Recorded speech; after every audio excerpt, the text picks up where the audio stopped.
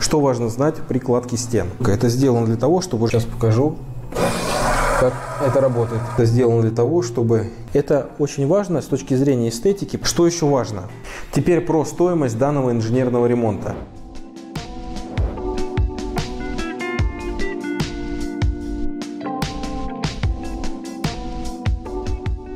Всем привет! Приехал в жилой комплекс Green Park. Это двухкомнатная квартира площадью 70 квадратных метров. Закончен инженерный ремонт и пройдемся по каждому этапу. Расскажу, какие материалы использовались, а также сколько все это стоило нашему заказчику.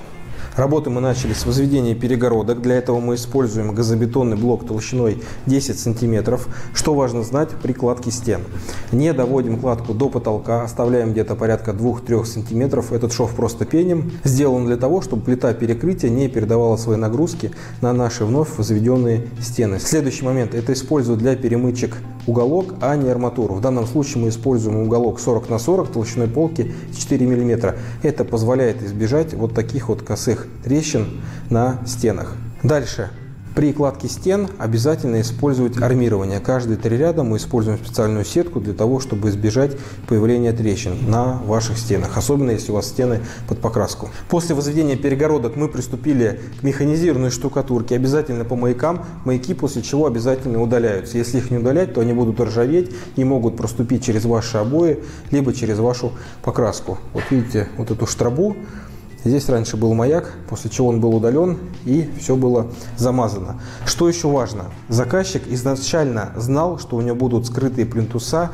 и мы набили профиль для гипсокартона размером 60 на 27 по всему периметру квартиры. Вот видите, вот здесь вот раньше был профиль, и мы не доходили до сюда штукатурка. Это сделано для того, чтобы уже потом вложить профиль для скрытого плинтуса и не надо будет резать штукатурку. Очень классно, когда заказчик сразу знает, какой у него будет плинтус, чтобы потом не резать штробы уже по готовой штукатурке, а сразу прибить профиль и оставить свободные места под ваш скрытый плинтус. Вот здесь у нас будет кухня, здесь плинтуса у нас не будет, поэтому здесь штукатурили до самого пола. После штукатурки стен мы, как всегда, приступили к монтажу электрики. Она у нас идет по потолку в серой ПВХ кофре. Кабель обязательно ГОСТовский, обязательно производитель Конкорд. Сейчас вам покажу щиток. Вот, пожалуйста, щит на двухкомнатную квартиру площадью 70 квадратных метров.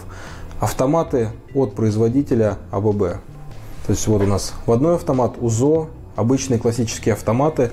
Вот они, DIF автоматы. Они у нас идут на мокрую зону. К примеру, там розетки в ванной, стиральная машина, посудомоечная машина и так далее.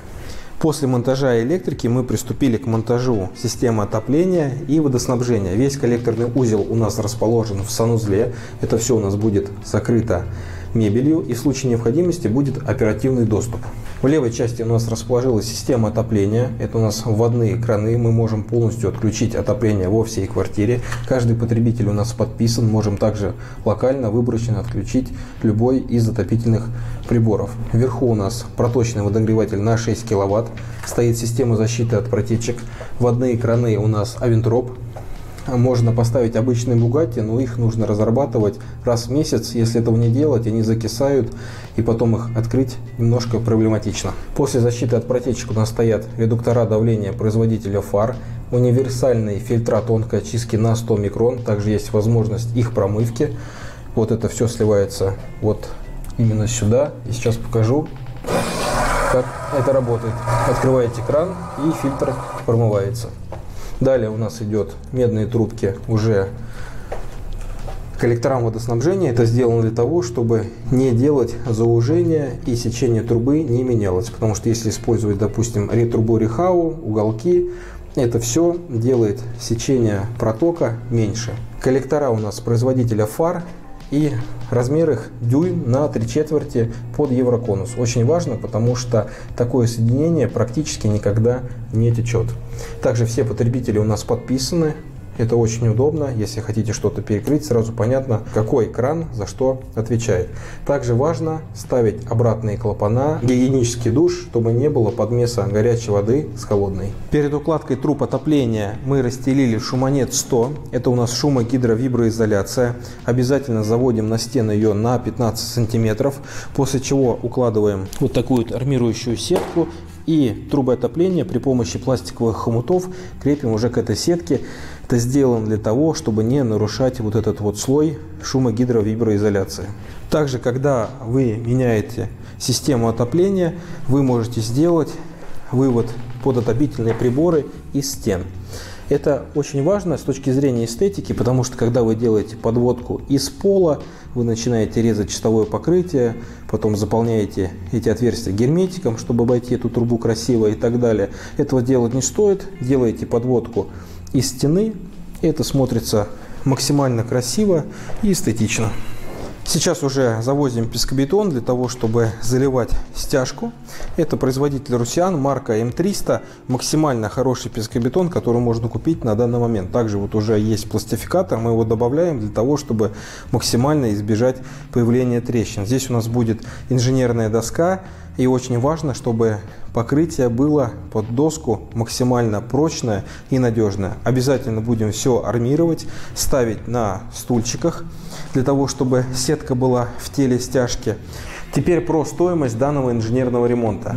На работы наш заказчик потратил 800 тысяч рублей. Стоимость всех материалов 726 тысяч рублей. Все ваши вопросы оставляйте, пожалуйста, в комментариях, либо пишите по номеру WhatsApp, который я ставлю в описании к данному видео. Обязательно подписывайтесь на наш канал, ставьте лайки. Спасибо, что нас смотрите. Всем пока!